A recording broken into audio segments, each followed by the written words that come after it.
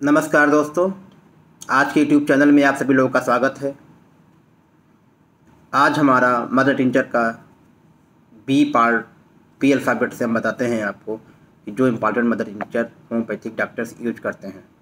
तो आज हम आपको होम्योपैथिक की एक ऐसी दवा के बारे में बताने जा रहे हैं, जो हर होम्योपैथ अपनी शॉप पे रखता है और बहुत ही बहुत ही ज़्यादा यूजफुल होम्योपैथिक की मेडिसिन है। जो होम्योपैथी के बारे में कुछ भी जानते हैं, उनको यह दवा बहुत पता पता होती है और सभी लोगों को जानते हैं कि ये दवा कितनी कारगर काम करती है। तो हाँ दोस्तों, शायद आपने सही सुना होगा, सही सोचा होगा। आज हम बात करते हैं काफ़ी फ़ेमस दवा, बलबेरिस वलगेरिस, मदर टिंचर की। तो आज हम आपको बलबेरिस वलगेरिस के क्लिनिकल टिप्स जो प्रैक्टिस में यूज़ होते हैं, उनके बारे में मैं बताता हूँ कि कैसे बल्बरिस वलगरिस हमारे बॉडी में कौन सी बीमारियों पर काम करती है, कैसे हमारी बॉडी में फ़ंक्शन करती है, और इसका हमारी बॉडी में कौन सी बीमारी और कौन से ऑर्गन्स पे उपयोग होता है, और इसकी डोज हम आपको बताएँगे। तो सबसे पहले ये हमारे बॉडी में स्टोन निकालने के लिए लोग इसको यूज़ करते हैं किडनी स्टोन के लिए Berberis vulgaris mother mother tincture का यूज़ करते हैं। किडनी स्टोन हो बर्निंग ऑफ़ मिक्चुरेशन हो बबलिंग पेन हो कहीं पे बैक पेन होने होने वाला हो किडनी स्टोन की वजह से बुक्स में लिखा है कि बेसिकली ये लेफ़्ट किडनी स्टोन के लिए काम करती है राइट के लिए दूसरी मेडिसिन होती है, लेकिन राइट लेफ़्ट दोनों में ये काम करती है। कॉन्स्टिट्यूशनल दवा के साथ में कॉन्स्टिट्यूशनल दवा देने के बाद में आपको ये मदर टिंचर लेने से आपके किडनी स्टोन काफ़ी हद तक निकल जाते हैं, पंद्रह से एक महीने के अंदर अंदर जैसा आपकी टेंडेंसी रहती है मदर निकालने की स्टोन दूसरे ज्वाइंटिस में भी बहुत अच्छा इसका रोल होता है। लीवर पे इसका बहुत अच्छा रोल होता है। गाल बेडर स्टोन में और कोलिसिस्टाइटिस गाल बेडर की सूजन में और गाल बेडर की स्टोन में भी ये काफ़ी हेल्प करती है।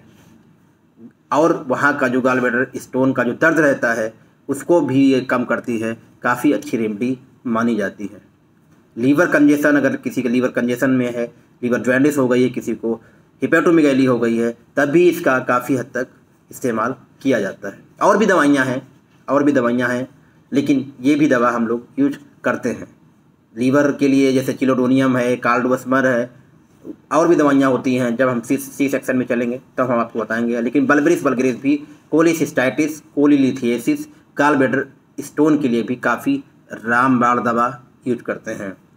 किडनी स्टोन के बारे में मैंने आपको बता ही दिया। तीसरा इसका सबसे अच्छा काम जो होता है, वो हमारी बॉडी में अगर यूरिक एसिड बढ़ गया है तो यूरिक एसिड को ये कम करने के लिए काफ़ी अच्छी उच्च कोट की दवा मानी जाती है बल्बरिस बलगरिस मदर टिंचर और इसका अर्थराइटिस पेन और यूनरी डिस्कम्फर्ट अगर किसी को जोड़ों में दर्द हो रहा हो यूरिक एसिड की वजह से, तब हम इसको यूज़ कर सकते हैं। बैकिंग में भी बहुत अच्छा ये काम करती है बल्बरिस वलगरिस कैसे लेना है?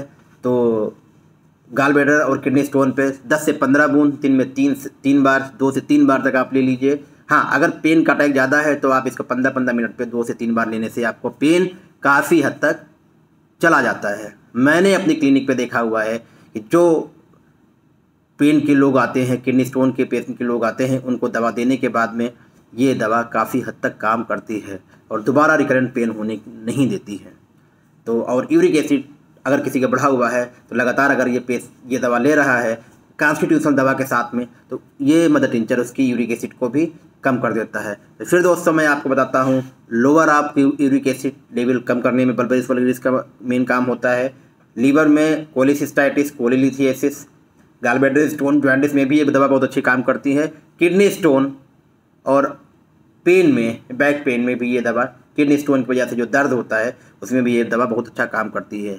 डोज हम फिर आपको बता रहे हैं, दस से पंद्रह बूंद, दिन में दो से तीन बार तक आप ले सकते हैं और इसके बहुत ही अच्छा परिणाम मिलता है। तो दोस्तों, अगर ये वीडियो आपको अच्छा लगा तो प्लीज़ इसको लाइक कर दें, अपने दोस्तों को शेयर कर दें और इस बलबरिस बलगरिस मेडिसिन से संबंधित कोई भी सवाल हो तो आप मेरे कमेंट बॉक्स में पूछ सकते हैं, हम उसकी आपको पूरी जानकारी दे देंगे। हमारे चैनल को सब्सक्राइब कर दें बेल आइकन का बटन दबा दें, जिससे हम भी कोई भी मेडिसिन के ऊपर हम चर्चा करें या आपके हेल्थ के बारे में बताएँ तब ये आपको जानकारी इसकी मिलती रहे। नमस्कार दोस्तों।